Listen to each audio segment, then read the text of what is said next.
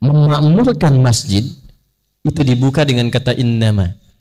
Jadi berbahagialah kalau ada di antara kita yang diberikan oleh Allah kekuatan dalam hatinya untuk mau memakmurkan masjid dengan semua jenis kegiatan yang mampu dilakukan. Maka Anda sedang masuk dalam kalangan elit di dalamnya. Ya. Nah, tapi tidak cukup dengan amin. Ya. Itu. Apa yang dimaksud memakmurkan itu? Ya. Yang pertama, man amana billahi wal yaumil akhir. Dia membawa misinya ke masjid itu karena imannya supaya cari bekal di hari kiamat untuk pulang. Jadi mengelola masjid itu bukan mengelola perusahaan. Orientasinya bukan dunia. Mengelola masjid untuk DKM ditujukannya betul-betul untuk menaati Allah. Ya. Kemudian menyiapkan bekal itu supaya punya kebanggaan saat pulang menghadap Allah. Nah, apa ciri-ciri orang-orang seperti itu? Yang pertama, wa. Dia berusaha memakmurkan masjid itu dengan konsisten membuat sifat sholat jamaah yang baik dan rapi. Nah, jadi ada pengelolanya, ada imamnya, ada makmumnya. Bila nanti ada yang sholat di sini, DKM dapat bagiannya. Setiap orang sholat dapat pahala ditransfer langsung itu. Itu hadisnya sahih. Ya, man sanna fil islami sunnatan hasanatan falahu ajruha mithla ajri man amila biha min ghairi an yankusa min adriha syai. Paham? Tidak. Siapa yang memfasilitasi pada sunnah kebaikan? Ya, sunnah kebaikan, jamaah sunnah kebaikan. Difasilitasi di sini, dilebarkan masjidnya, diluaskan, ditinggikan. Orientasinya bukan supaya orang menganggap masjid ini mewah. Awas hati-hati Pak DKM, Pak Najib hati-hati. Kalau hanya keinginan menjadikan masjidnya tanpa dinilai mewah, nah, maka keluar dari golongan elit itu. Ya, keluar dari golongan elit. Diharapkan dengan masjidnya direnovasi, jamaah mesti nyaman merasakan kenikmatan sholat di sini. Safnya makin luas, ada kenikmatan untuk ibadah kepada Allah. Itu setiap orang masuk satu, maka dia sholat baru masuk dapat 25 kebaikan. Sholat dapat 27. Jarak satu keduanya 500 tahun. Dua ketiganya 500 tahun. Itu di Sahih Muslim. Itu begitu jamaahnya dapat, langsung DKM-nya pun setiap orangnya dapat transferan sama persis dengan orang yang ibadah di situ. Itu itu satu. Wa atas zakah nanti mengelola potensi zakat dengan baik. Walam yakhsha illallah dan menerapkan hukum Allah di masjid. Masjid itu rumah siapa? Rumah Allah, bukan rumah pengurus. Saya main ke rumah pengurus, punya aturan. Masuknya lewat sini, duduknya di sini, yang ngatur yang punya rumah. Kita datang ke rumah Allah yang dipakai aturan Allah. Karena itu kalau nanti sudah bagus, sudah rapi, yang pertama dipelajari oleh DKM bukan membuat program, tapi belajar fikih masjid tentang aturan Allah di dalamnya. Ini penting saya sampaikan sebab ini rahasia di antara kita ya. Ada sembilan jenis setan yang berbahaya. Nanti kalau kita ke Palembang lagi, bikin kajian yang terukur, insya Allah nanti kita buat tema khusus judulnya fikih setan. supaya kenal. Antum ke sini cuma tahu jalan yang mulus, tak tahu di situ ada lubang, terperosok. Nah, setan itu kan bahaya. Mesti kita kenali. Di antara sembilan jenis setan itu ada setan yang memang tugasnya berada di masjid. Dan yang pertama kali digoda bukan jamaah, tapi DKM masjid. Ingat itu. Kalau sekarang kompak, Pak. Kompak jadi bagus sama-sama nyumbang. Nanti setelah jadi masuk dia. Supaya dibikin pecah DKM-nya. Kalau jamaah satu bosan, yang lain datang. Tapi kalau DKM sudah nggak mau ke masjid, jamaah pun malas. Kenapa nggak ke sana? DKM-nya ribut melulu katanya. Padahal masjidnya bagus. Maka dari itu penting kita buat aturan-aturan itu supaya paham. Jangan takut dengan kaspa, karena kan rumah Allah. Yang penting itu Allah kasih berapa, ke mana dikeluarkan sesuai dengan aturan Allah. Ini penting saya pertajam dulu, karena sekarang ini baru kita masuk mendapati masjid sudah bagus dan dalam tahap penyempurnaan. Saya memberikan pesan yang kuat dulu supaya nanti saat kita guyub menjadikan masjid ini baik, insya Allah DKM-nya pun sudah kuat, kitanya pun nyaman ibadah di dalamnya.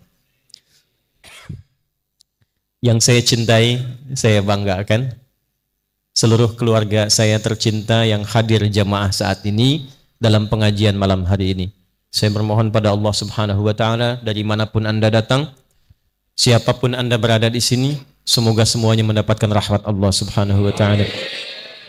Semoga langkahnya dihitung oleh Allah untuk meringankan hisabnya dan dimasukkan dalam golongan hadis yang disampaikan dari Nabi sallallahu alaihi wasallam qala man salaka tariqan yaltamisu fihi ilma sahalallahu lahu tariqan ila al-jannah wa innal malaikata latad'u ajnihataha ridan li talibil ilmi وإن طالب العلم يستغفر له من في السماوات ومن في الأرض حتى الحيتان التي في البحار وإن العلماء ورثة الأنبياء وإن الأنبياء لم يرثوا دينارا ولا درهما siapa pun yang melangkahkan kakinya.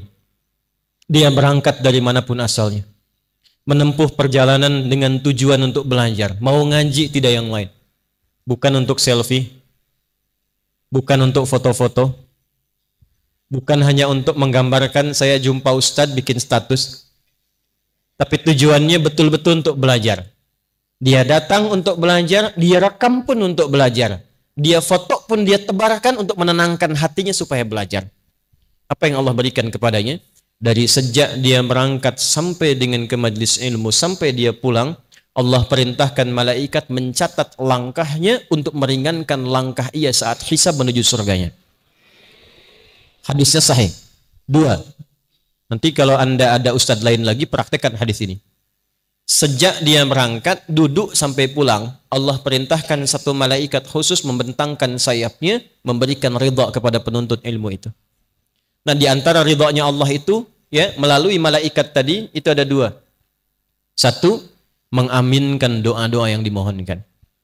Nah, jadi kalau nunggu penceramah, nunggu kiai, nunggu tuan guru, nunggu al-habib, habaib misalnya, ustadz, itu jangan banyak kita melakukan hal yang tak penting.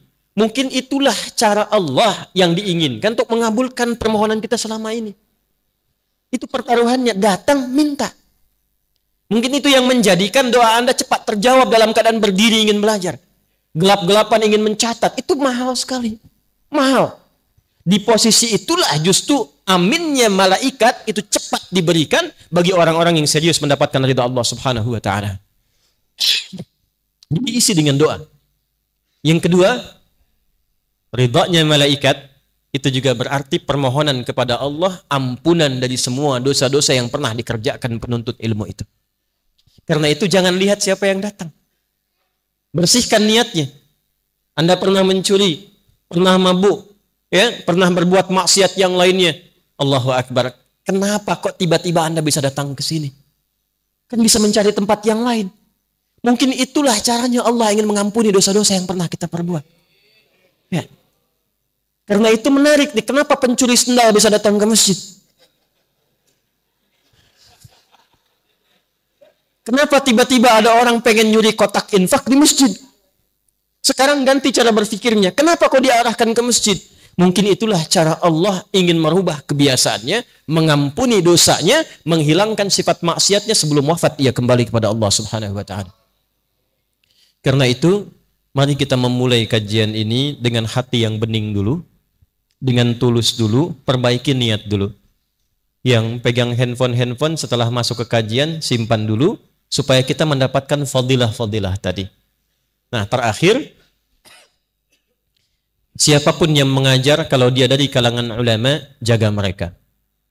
Ciri ulama itu bukan hanya pintar, yang pintar banyak. Ciri utamanya, dia punya rasa khasyah kepada Allah. Innama yakhshallaha min ibadihi ulama. Ya, dia khawatir kalau dia bicara takut Allah tidak ridha. Akhlaknya mulia, lembut sifatnya, punya kepedulian tinggi pada murid-muridnya. Guru saya selalu berkata, nak kalau engkau mengajar, tatap wajah-wajah itu. Nanti setelah selesai bangun malam, bayangkan wajah itu dan mohonkanlah kepada Allah kebaikan untuk semua yang kau tatap dan tak mampu kau tatap itu. Minta kepada Allah supaya ditanamkan pada jiwa mereka kedamaian, kebaikan, dan pengetahuan yang merubah mereka menjadi lebih baik. Dan bertakwalah kepada Allah untuk memohon ampunan agar setidaknya engkau mampu mengamalkan dari apa yang pernah engkau sampaikan kepada orang-orang yang engkau ajarkan itu. Itu amanah guru saya pertama pulang ke Indonesia saya menghadap, itu kalimat yang beliau sampaikan. Nanti engkau akan banyak mengajar, tatap wajah-wajah mereka, mengajarlah dengan ikhlas. Begitu selesai malamnya, maka urusan kamu dengan Allah untuk memohon kebaikan-kebaikan dan bayangkan wajah-wajah mulia itu.